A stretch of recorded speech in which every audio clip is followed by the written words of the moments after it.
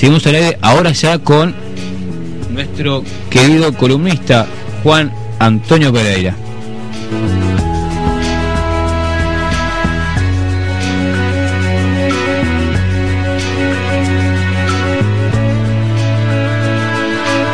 Muy buenos días, Juan. ¿Qué tal, Enrique? Buenos días a ti, buenos días a, la audiencia de Equidad FM. Eh, un día, por lo menos hoy fue un poco más agradable venir, ya no nos castigó tanto el frío en nuestra avenida. Sí, sí, ya no, por ahora va bien. Y por suerte, digo siempre, eh, por suerte sigue bajando la temperatura, porque hacer calor en esta época del año ah, te pronostica... Es mal síntoma, ¿no? Sí, un verano, uno que no sabe nada de, de tiempo ya aprende a percibir estas cosas. Los años no vienen solos, uno aprende a percibir otras cosas. Lo está diciendo vos. Sí, sí, no, asumo la responsabilidad. Yo no, lo dije.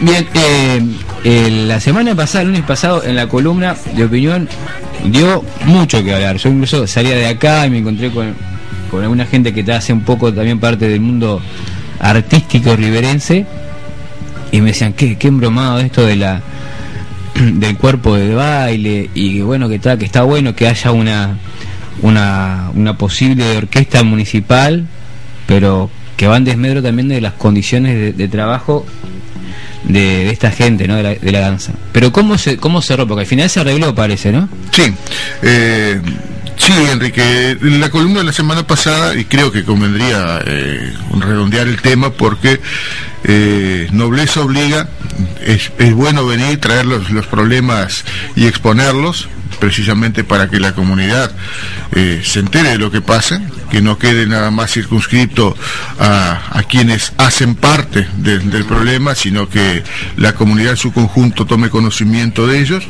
Pero también eh, nobleza obliga, como decía, a que cuando se arriba una solución, también se lo, se lo ponga sobre la mesa y se reconozcan eh, algunas actitudes. La semana pasada vinimos acá y comentamos el, el asunto que, que tenía muy inquietos a los integrantes del ballet folclórico municipal y de toda la familia, porque tocaba una persona, un, grupo humano de más de 100 integrantes, pero que por supuesto, si le agregamos el núcleo familiar, que es gente que habitualmente acompaña todo eso, estamos hablando de no menos de 400, 500 personas directamente involucradas con esto.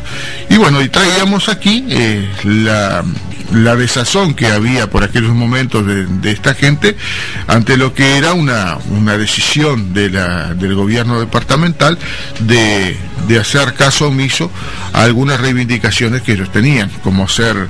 Eh, se estaban pagando eh, la indumentaria, la reparación de calzados y el detonante que había sido la negativa a pesar de la, del beneplácito, o mejor dicho, del aval, por así decir, del director de Cultura y del director de, Promoción y Desarrollo, de acceder a, un, a una reivindicación de la figura más visible que tiene el elenco, que es el profesor Marcelo Chapital. Marcelo Chapital, 17 años trabajando al frente de este elenco y de este grupo humano, y hasta este momento se mantenía como una empresa unipersonal contratada, con todos los inconvenientes que esto genera. debemos recordar que una empresa unipersonal contratada este, es una prestadora de servicio y, percibe sus haberes eh, apenas justamente cuando eh, contraprestación de servicio. Esto no le genera derecho a licencias, no le genera derecho a aguinaldos y cosas como esta que realmente eh, rayaban lo absurdo cuando nosotros vemos a diario eh, la cantidad de, personas que han ingresado a la administración municipal como, como funcionarios, como funcionarios presupuestados. Bueno, este, el tema se puso sobre la mesa, corrió como, corrió como reguero de pólvora, eh, lo publiqué eh, a través de, mi canal de YouTube, también lo que fue la columna, y tuvo una repercusión explosiva. En poco más de, de tres horas teníamos más de 100 visitas en ese, en ese sitio y generando incluso repercusiones en la gran prensa, vamos a decirlo así, entre comillas. Ah, mira. Sí, sí, sí, este, y también la molestia de algún comunicador. Me encantó lo de la gran... Sí, sí, este, y generando incluso la molestia de algún comunicador que se sentía este, ofendido aparentemente porque Marcelo Chapital había hablado con nosotros y no había hablado en su medio. Nosotros fuimos, nosotros fuimos a la fuente, nos tomamos el trabajo de, ir el trabajo que tiene que hacer el periodista. Exacto, fuimos a hablar con, con, con Marcelo. Hay gente que, supone que la telepatía es suficiente y por, decirlo al aire que querría hablar con, fulano, este tiene la necesidad de estar escuchando. No fue así, Marcelo no se enteró de esto, se vino a enterar de, de esta preocupación del comunicador cuatro o cinco días después. Pero lo cierto es que dialogué con él la semana pasada, o mejor dicho, el, el sábado por la mañana, y me comentaba que sí, que felizmente en la reunión que habían tenido el mismo lunes por la noche, eh, se había arribado a una solución. Finalmente Marcelo es o será brevemente incorporado a la plantilla de trabajo de la Intendencia Departamental como un funcionario más municipal eh, y también se llegó a, buenos términos en cuanto a las otras reivindicaciones que tenía el grupo. Van a estar ensayando en lo que son las instalaciones del Teatro Municipal, eh, sí, eh, y que cuando esté el mismo cedido o siendo preparado para algún otro evento, utilizarán las instalaciones del, del Museo Municipal. Esto hasta tanto no quede pronta la Casa de la Cultura, que se supone que estaría eh, pronta en condiciones de ser usada alrededor del día 21 de agosto. Les dijeron esto a los muchachos, ellos tienen algunas dudas al respecto, pero bueno. ¿Que va a estar ubicada dónde? Me tomás por sorpresa con esta con esta pregunta porque yo realmente no recuerdo. Eh. No, yo tampoco sé. Y creo que todo esto del ballet aceleró esto de, de, la, de la inauguración. Tengo entendido que esta, eh, este enfrentamiento, esta postura firme del, del, del ballet folclórico municipal aceleró un poco el bueno, el cerrar el negocio con, con, la Casa de la Cultura. No sé dónde va a ser todavía. Sí.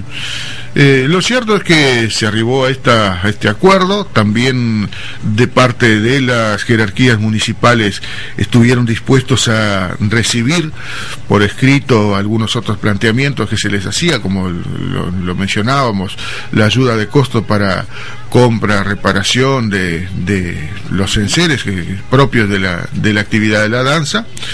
Y bueno, felizmente se llega a un, a un acuerdo. Esto es muy bueno que suceda, digo, porque que cabe recordar, lo dijimos la semana pasada y hace, lo dijimos al pasar hace algunos instantes también, eh, esta decisión contaba de antemano con el aval de director de cultura y director general de promoción y desarrollo. Por increíble que parezca, había eh, había sufrido este impas por la decisión, no sé por qué motivo, del propio intendente departamental. Hay versiones que indican que el intendente sería que se habría puesto duro, hay otras versiones que indican que en realidad esto era decisión del secretario general, pero lo cierto, bueno, es que se haya dado a la inversa de, lo que habitualmente sucede. Yo recuerdo que un ex intendente Rivera, cuando lograba someter a alguien a su voluntad, solía decir, le torcimos el pescuezo.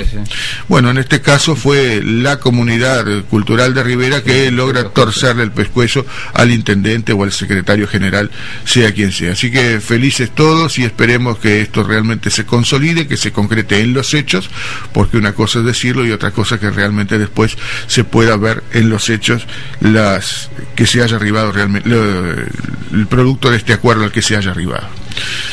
Así que está todo arreglado nuevamente, seguimos teniendo un excelente como como siempre hemos un excelente cuerpo de baile. Sé que todo esto me hace acuerdo a otro cuerpo de baile que no ha tenido la misma suerte acá en Rivera, que es el grupo, yo no sé si el lunes pasado te lo comenté, el grupo eh, Amanecer de Bichadero. Ah, sí.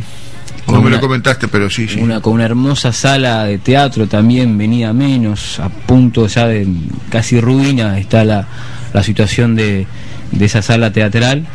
Y ahí en Bichadero un grupo de gente mm, de esas que aman lo que hacen, eh, lleva adelante desde hace años, llevaba adelante desde hace años el grupo Amanecer, que creo que el año pasado o comienzo de este año fue las últimas veces que ha ensayado justamente por falta de apoyo. La misma historia, ellos mismos se compraban las botas, hacían algunas actividades, peña, una rifa para la vestimenta, de un lado del otro conseguían como poder viajar, una y otra vez le demandaron a la, le solicitaron a la a la Intendencia apoyo económico que nunca tuvieron.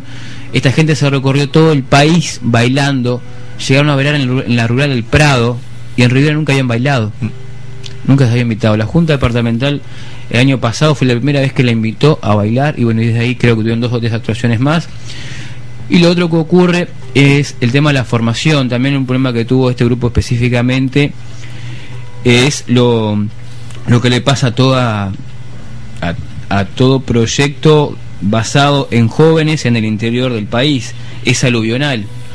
Cuando a llegar a los 18 años los jóvenes se nos van, entonces perdía integrantes el grupo de danza. Pero lo que sí me hace acordar es esa tesón, esa cosa que tenía todos los días, todas las semanas, para el ensayo consuetudinario, aunque se siguen haciendo ensayos, pero no con el mismo tamaño, la misma cantidad de gente, y una excelente presentación de muy buenos bailarines jóvenes 16, 17, algunos incluso están viviendo en Rivera, no porque están estudiando porque hicieron su familia están acá.